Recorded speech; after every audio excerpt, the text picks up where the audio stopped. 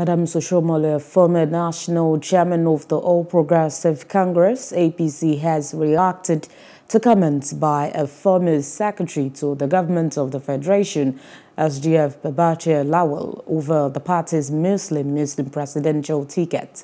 Oshiomhole said Nigerians should differentiate between a Christian by mouth and a devil by heart.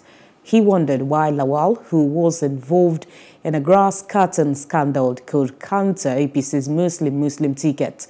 Oshiomhole stressed that the APC presidential candidate, Bola Tinubu, was a better Christian.